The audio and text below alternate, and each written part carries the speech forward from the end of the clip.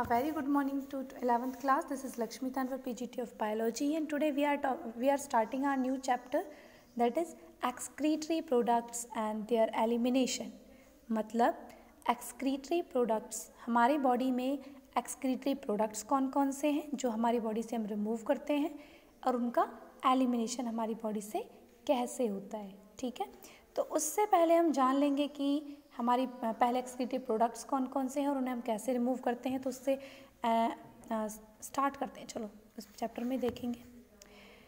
तो पहले देखेंगे बेटा कि कुछ एक्यूमुलेट सब्सटेंस हैं जो हमारी बॉडी में एक्यूमुलेट हो जाते हैं और एक्यूमुलेट होने के बाद वो हमारी बॉडी में कुछ बॉडी के लिए अच्छे नहीं होते हार्मफुल होते हैं। जैसे कि animal accumulate ammonia urea uric acid carbon dioxide water ions like sodium, potassium, chlorine, phosphate और सल्फेट।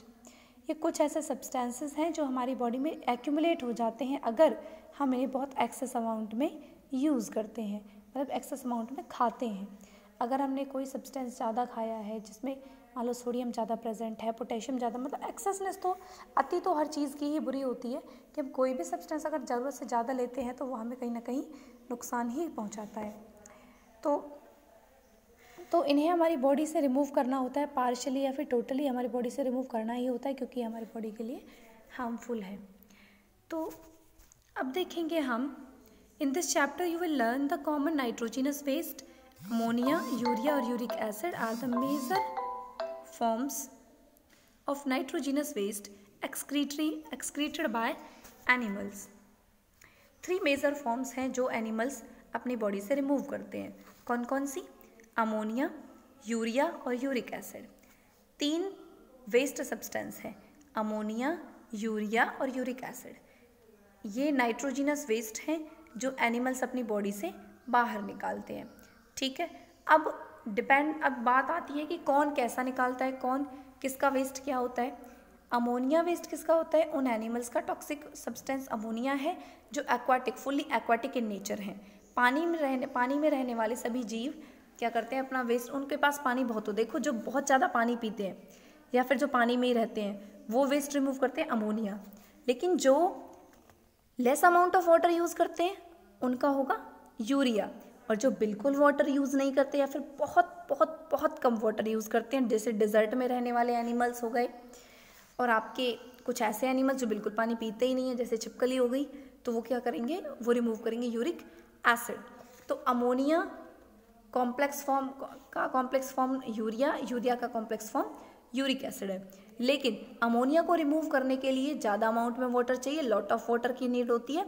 यूरिया को ऑप्टिमम अमाउंट मतलब बहुत ज़्यादा भी नहीं, बहुत ज़्यादा कम भी पानी से रिमूव करने के लिए नहीं चाहिए। जैसे कि हम हो गए, हम दिन में एक लीटर, दो लीटर पानी पीते हैं, लेकिन वो बहुत ज़्यादा नहीं है। लेकिन अगर हम यूरिक एसिड की बात करें तो यूरिक एसिड के लिए ऐसे एनिमल्स हैं जो कुछ बिल्कुल भी वाटर यूज़ नहीं करते तो उनका वेस्ट क्या हो गया? यूरिक एसिड तो इसी बेस पर on the basis of waste removing waste या फिर नाइट्रोजिनस वेस्ट के बेस पर एनिमल्स कितने टाइप के होते हैं? थ्री टाइप के. अमोटैलिक अमोनोटैलिक यूरियोटैलिक और यूरिकोटैलिक ठीक है? अमोनोटैलिक की हम बात करें तो ammonotelic are those organisms which which have nitrogenous waste of ammonia which release ammonia as a nitrogenous waste भाई ammonotelic organisms are those organisms which release ammonia as a nitrogenous waste okay and this process is called ammonotelism this process is called ammonotelism अब ये इस तरह का जो excretive system है, वो कौन से किस किस ऑर्गेनिज्म में पाया जाता है? जैसे बोनी फिशेज मतलब बोन्स वाली फिशेज एक्वाटिक एम्फीबियंस पानी में रहने वाले एम्फीबियन जैसे कि फ्रॉग, एक्वाटिक इंसेक्ट, पानी में रहने वाले कीड़े। ओके तो अमोनोटैलिक हो गए। जो अमोनिया है, वो वाटर में सॉल्युबल होता है और जनरली एक्सक्रीट होती है डिफ्यूज़न प्रोसेस से।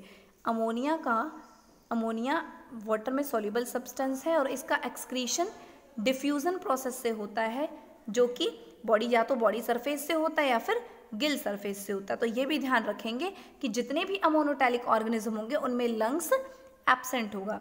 उनमें सॉरी उनमें किडनी एबसेंट होगी। ठीक है? तो यहाँ पर इनमें क्या प्रेजेंट होता है इनके रिमूवल के लिए? बॉडी सरफेस या फिर gill surface as ammonia ions kidney do not play any significant role in this its removal ये भी ध्यान रखेंगे कि किडनी इसके रिमूवल में कोई भी इंपॉर्टेंट रोल प्ले नहीं करती। किडनी अच्छा terrestrial adaptation necessitated the production of lesser toxic nitrogenous waste like urea और uric acid for conservation of for conservation of water जो टेरेस्ट्रियल अडेप्टेशन है ऑर्गेनिजम्स का मतलब ज़मीन पर रहने वाले जो ऑर्गेनिज्म हैं, उन्होंने, वो लेस अमाउंट में वाटर यूज़ करते हैं तो लेस अमाउंट ऑफ़ वाटर को अगर वो अमोनिया को वेस्ट करने में रिमूव कर देंगे तो उनकी बॉडी में क्या बचेगा फिर? वो एब्जॉर्ब क्या करेंगे? क्योंकि वो तो ड्रिंक ही दो या तीन लीटर पानी करते हैं पर डे में। तो इसी तरह से आपको उन्होंने अपना अडोप्टेशन क्या कर लिया कि वो थोड़े पानी में ज़्यादा वेस्ट करते हैं, ज़्यादा वेस्ट रिमूव कर सकते हैं। थोड़े पानी में ज़्यादा से ज़्यादा वेस्ट रिमूव कर सकते हैं। तो ये टेरेस्ट्रियल ऑर्गेनिजम्स का अडाप्टेशन है और इसीलिए उनका जो नाइट्रोजीनस वेस्ट है, उसकी कॉम्प्लेक्स फॉर्म का नाम है यूरिया और यूरिक एसिड तो ज़मीन पर रहने वाले ऑर्गेनिजम्स यूरियोटैलिक होते हैं या फिर यूरिकोटैलिक होते हैं। यूरियोटैलिक जो थोड़ी अमाउंट में पानी यूज़ करते हैं, जैसे कि मैमल्स मैनी टेरेस्ट्रियल एम्फीबियंस और मैराइन फिशेज मैराइन फिशेज मतलब खारे पानी में रहने वाली फिशेज एम्फीबियंस और मैमल्स एक्सक्रीट करती हैं यूरिया और उन्हें हम कहते हैं यूरिको, यूरियोटैलिक यूरियोटैलिक। लेकिन कुछ ऑर्गेनिजम्स ऐसे हैं, और देखो ऐसे होता क्या है अमोनिया पहले प्रोड्यूस होता है मेटाबॉलिज्म कन्वर्ट से। जब सेल बॉडी में प्रोडक्शन होता है बॉडी बॉडी में कोई मेटाबॉलिक एक्टिविटी चलती है तो मेटाबॉलिक एक्टिविटी में एक्टिविटी में प्रोड्यूस तो अमोनिया ही होता है। लेकिन उस अमोनिया को यूरिया में कौन कन्वर्ट करता है? उस अमोनिया को यूरिया में कन्वर्ट करने का काम करता है लिवर लिवर का ये भी फ़ंक्शन है कि ये अमोनिया को उसकी कॉम्प्लेक्स फॉर्म यूरिया में कन्वर्ट करता है, जिसकी वजह से हम लेस अमाउंट ऑफ़ वाटर में यूरिया को रिलीज़ कर सकते हैं। ठीक है? ये पॉइंट याद रखने लायक इसे हम याद करेंगे। Some amount of urea may be retained in the kidney matrix of the some of these animals to maintain the desire of osmolality कुछ अमाउंट यूरिया का रिटेन कर लिया जाता है मतलब वापस से गेन कर लिया जाता है किडनी में, क्योंकि ऑस्मोलिटी जो वाटर बैलेंस है बॉडी का, वो खराब हो जाता है, इसलिए थोड़ा अमोनिया का बॉडी में प्रेजेंट होना ज़रूरी है। रेप्टाइल्स बर्ड्स लैंड स्नेल और insect excrete nitrogenous waste acid in the form of pellets और paste with the minimum loss of water and are called uricotelic animals कुछ एनिमल्स ऐसे होते हैं, जैसे कि रेप्टाइल्स है, रेंगने वाले जीप जैसे स्नेक हो गया।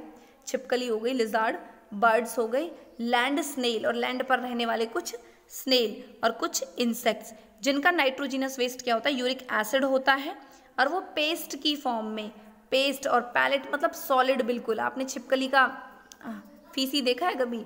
बहुत बिल्कुल सॉलिड होता है, एकदम बिल्कुल पानी नहीं होता उसमें, है ना? तो इस तरह का पेस्ट वो रिमूव करते हैं और जिससे कि कम से कम अमाउंट में वाटर लॉस हो और इस तरह के एनिमल्स को हम कहते हैं यूरिकोटैलिक एनिमल्स। ठीक है? नेक्स्ट वीडियो देखेंगे हम आगे। नेक्स्ट टॉपिक देखेंगे नेक्स्ट वीडियो में। Thank you so much